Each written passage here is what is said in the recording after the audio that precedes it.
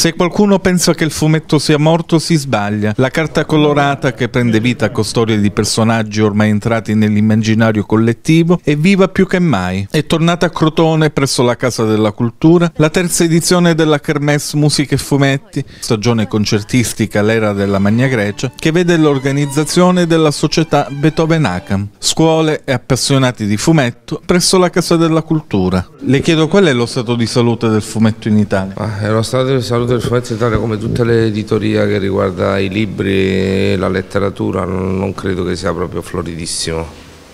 Certo resiste, però non credo che sia, non è certo quello lo stato degli anni 80, degli anni 70 dove si leggeva tantissimo dove testate come Topolino l'Intrepido vendevano anche 500-600 mila copie alla settimana, non credo che siamo più a quei livelli purtroppo. Quanto riguarda invece i disegnatori dei fumetti, secondo lei oggi c'è un ricambio generazionale? Ma il ricambio generazionale c'è sempre stato, però il fumetto è una cosa che ha dei canoni ben precisi, non è che lo si può rivoluzionare completamente. C'è sicuramente un ricambio generazionale, c'è sicuramente eh, disegnatori che portano cose nuove, però non sempre il mercato è capace di, di, recepire le novità, perché le novità di solito vengono recepite quando vengono dalle grandi aziende, se vengono invece da aziende magari più piccole o aziende che magari sono collocate in altri settori vengono recepite con più fatica. E secondo lei in conclusione le chiedo qual è il personaggio che resiste magari oltre Tex? Ah, io credo che forse il personaggio che resiste sia Topolino in Italia insieme a Tex e in parte anche Asterix, sono questi personaggi che resistono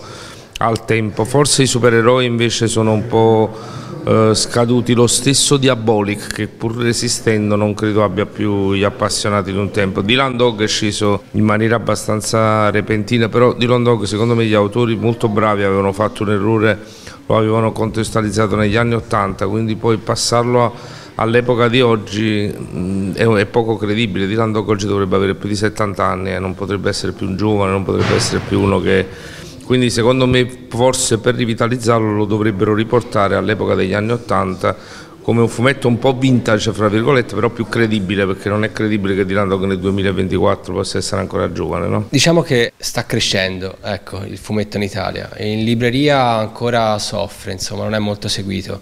Vendono soprattutto i fumetti manga e, e va benissimo, non riescono a diffondersi come... Per, meriterebbero per il valore che esprimono, intendo. In conclusione le chiedo, lei in quale personaggio in tutti questi anni si è rispecchiato di più? Eh, Lupo Alberto.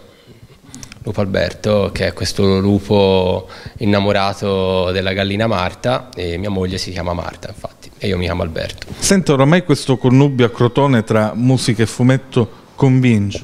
Eh beh, probabilmente perché siamo partiti noi con la musica ovviamente prima, siamo partiti e poi ecco questa associazione, perché secondo me per due motivi fondamentali, perché la maggior parte degli artisti, dei fumettisti sono anche,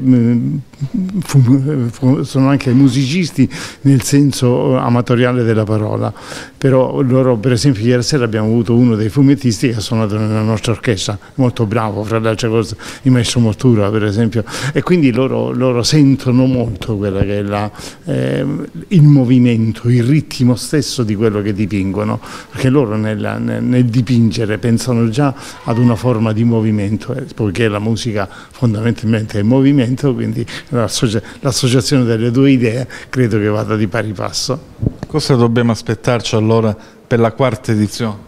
E beh, ci stiamo pensando molto su. Intanto, per esempio, ieri sera abbiamo avuto un, un nucleo orchestrale eh, in formato ridotto, diciamo, ecco, eh, cioè, adatto alle musiche che facevamo.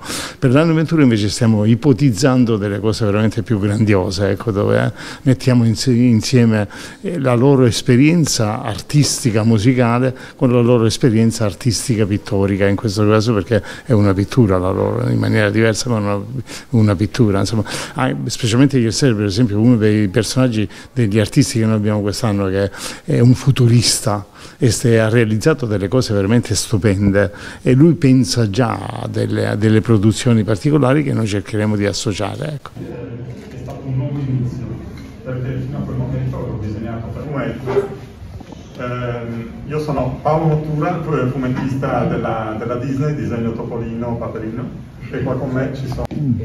Enzo Troiano invece sono disegnatore, ho disegnato Zagor, ma non solo, sono Allora, prima domanda, chi legge fumetti fra di voi?